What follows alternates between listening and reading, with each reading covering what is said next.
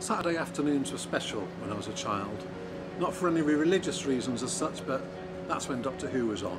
So you'd find me and uh, you know sometimes the rest of the family glued to the latest episode of Doctor Who.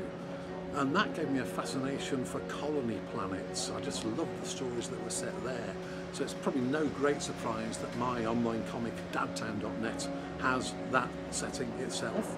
And that's part of what interested me in The Seventh Sword, uh, which is where I found my character Mary um, in the setting, once again, of a colony planet.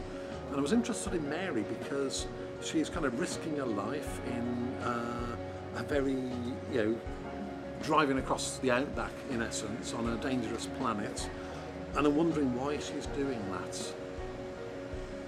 And providing people with fuel didn't seem to be a big enough answer so I looked at other possibilities and thinking what if there was some sort of purpose to what she was doing, a sort of higher purpose for her. And that led me to thinking well maybe she's looking to help people out, to reach out to them.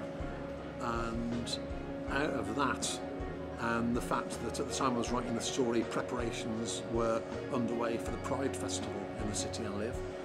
That's when this kind of LGBT element to the story became more apparent. Um, really, really pleased with the way it went. Very happy with Danny's art and the development process that we went through uh, with our editor. It was a really, really great experience. I hope you enjoy the story. Thank you. The Women of Darby Pop number one, a double size floppy at a single issue price. In stores on September 28th.